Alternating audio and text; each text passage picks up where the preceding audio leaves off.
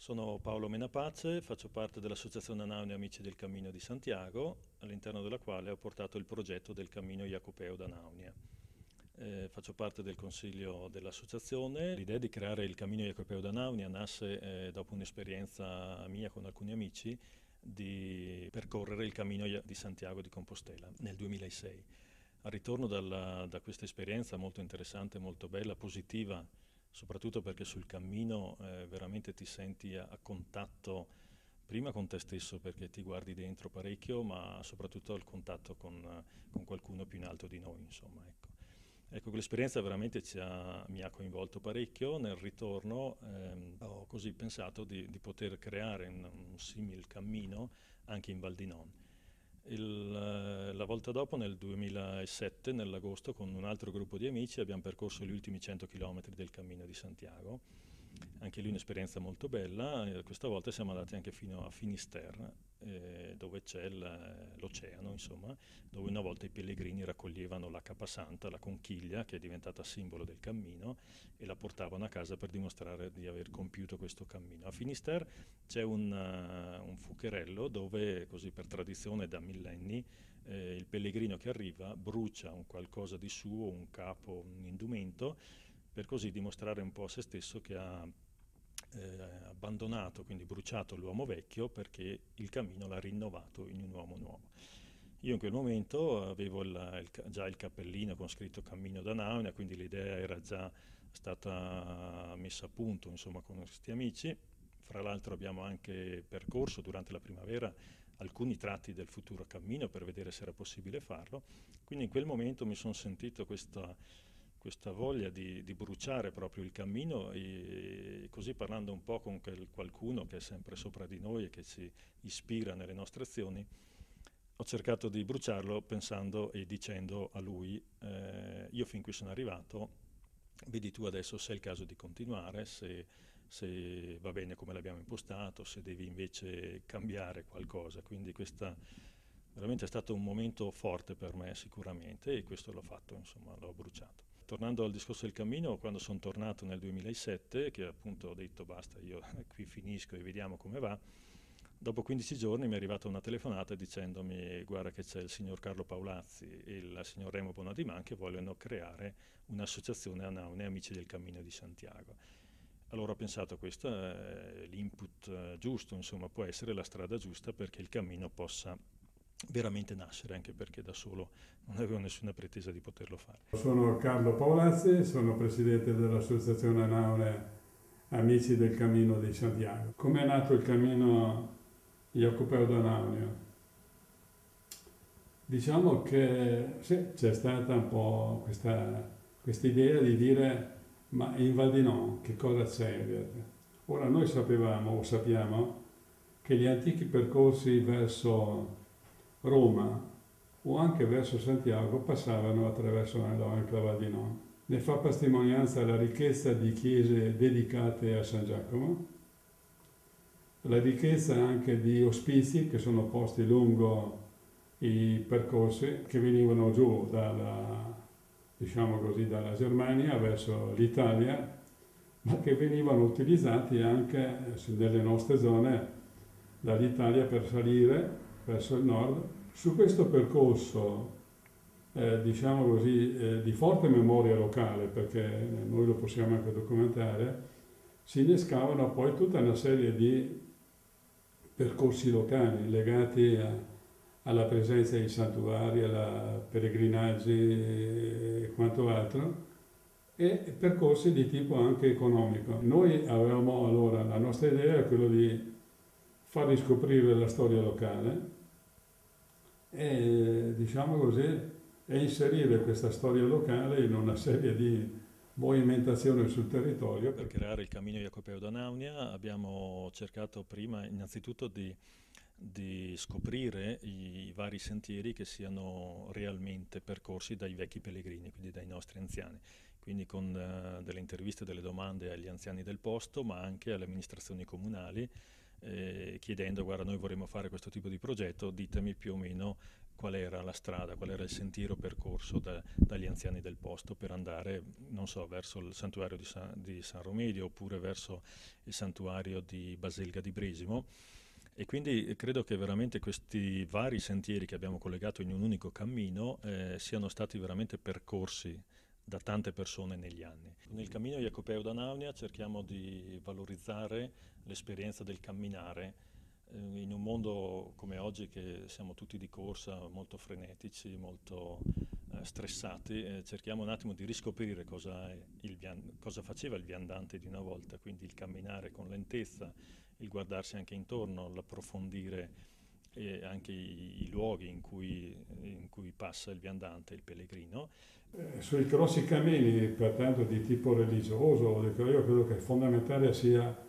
il mettersi alla ricerca di qualche cosa, che può essere di ordine religioso, cioè quindi noi andiamo a Santiago perché, perché, perché c'è la devozione verso San Giacomo, perché ma ci andiamo anche perché i lassi di tempo molto lunghi che ti consente il camminare, isolarti rispetto al resto, ti dà l'opportunità di, una, di un drenaggio della, del tuo passato eh, attraverso il quale fai emergere un po' ciò che di positivo, di negativo, è una, una specie di purificazione, insomma, quando eh, nel cammino religioso questo credo possa sia importante. Nel nostro camminare civile forse lo è meno, anche se comunque il, il camminare insieme, per esempio, crea solidarietà fra coloro che partecipano, ciò che non è, eh, crea condivisione fra eh, chi si muove, come dicevo prima, crea relazione con l'ambiente con cui vai e alla fine ti accorgi, tornando a casa, che hai concluso una, una bella giornata, un bel periodo, eh, che sei diventato un po' più, più ricco, un po' più, più questa è un po' la storia di una valle come la Val di Non, che è una delle valli sicuramente più interessanti dal punto di vista anche archeologico, de, diciamo così, dell'epoca romana qua, per i ritrovamenti, quindi c'è tutta una, una tradizione, una cultura che eh, deve essere riproposta, cioè va divulgata, va comunicata, che non può rimanere eh, così, eh, né, eh, noi diciamo, non può rimanere né legata ad una realtà museale, l'archeologia o, o anche così la, la, la, so, la cultura vanno vissute, cioè no, devono essere vive, devono apportare qualcosa, questo è un po' La nostra speranza è che il progetto Cammino Ecopeo d'Anaunia possa essere utile alla comunità locale per veramente riscoprire, come dicevo prima, riscoprire il territorio, un territorio molto bello e molto ricco di, di cose artistiche, ma credo e speriamo insomma, che possa essere anche un, eh, così, un motivo di interesse per il turista pellegrino che viene da lontano in questo senso abbiamo avuto dei contatti con la, sia con la provincia che con l'APT della Val di Non e si sta creando un progetto generale di turismo religioso. Il territorio lo si conosce meglio frequentandolo a piedi. Anche uno che, che abita normalmente sul territorio, che passa con la propria automobile davanti ad una chiesa, un monumento, a una bellezza naturale, non riesce a coglierne eh, la sostanza. Invece muovendosi, entrando in contatto con le persone, fermandosi, parlando, eccetera, si, fa, si, si acquisiscono tratti di storia, si acquisiscono tratti di cultura, e si acquisisce quel rispetto del territorio che è fondamentale. E in un certo modo noi pensiamo anche si riesce a dare una mano a, soprattutto nelle zone più periferiche a che nasca una qualche attività di ordine economico proprio legato al fatto di questa gente che si muove a piedi, che soprattutto si garantisce una cosa che eh, una volta che questo turista questo, o il pellegrino è passato, eh, il territorio è rimasto più ricco, non più povero. Nello stesso tempo lungo il cammino eh, cerchiamo di entrare nei paesi anche perché ci sono queste chiese da visitare, eccetera, ma soprattutto perché troviamo delle persone anziane. Eh, io ho notato veramente che la, gli anziani sono lì in piazza a aspettare forse qualcuno che possa fare due chiacchiere con loro, quindi il fatto che il pellegrino possa entrare nei paesi anche sperduti dentro nella valle, nella Nonsberg, quindi sui masi dove ci sono i contadini, quindi il fatto che la, il pellegrino possa passare e magari fare due chiacchiere con queste persone, credo sia importante anche questo. Ci rimane eh, aperta oh, un altro percorso che noi vogliamo eh, così, eh, andare a, a soldare, perché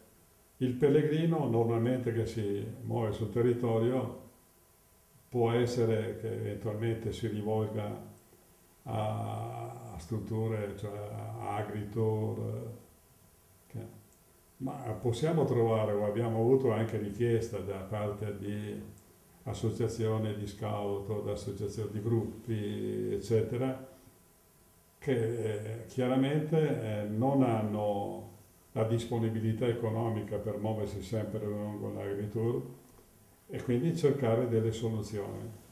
In questo senso eh, pensiamo di aver trovato almeno alcune soluzioni, ma in prospettiva di, di avere sia attraverso eh, diciamo così, l'utilizzo, prima abbiamo parlato per esempio con eh, con, con San Zeno dove c'è una comunità, lì hanno una casa che loro mettono volentieri a disposizione per questo. A San Romedio ugualmente ci sarebbero degli spazi, in valle ci sono molte canoniche dismesse perché purtroppo i preti sono sempre di meno. Eh, gli stessi comuni hanno degli spazi che in un certo modo possono essere convertiti, eh, qualche comune addirittura ha messo insieme anche delle case sociali, per esempio Castelfondo, eh, tipo Ostello della Gioventù, sì. eh, dove eventualmente ci si può muovere. Quindi si tratterà nel prossimo periodo di mettere un po' eh, così insieme tutte queste eh, situazioni da loro cioè, creare proprio questa rete, renderla, stabilire delle convenzioni, perché queste sono fondamentali, per poi eh, rendere accessibile il cammino a queste persone che, che, vengono in questo senso. Per quanto riguarda il futuro, credo che non, non sta a noi eh, decidere o fare delle delle proposte troppo in avanti perché qualcuno sicuramente ci indicherà la strada che dovremo percorrere. Per ora abbiamo implementato il cammino, speriamo che venga capito, venga accolto da più persone possibili. Dopo, in base alla richiesta di, anche di questi nuovi pellegrini, si vedrà come, come portare avanti il progetto, come attuarlo, come migliorarlo soprattutto.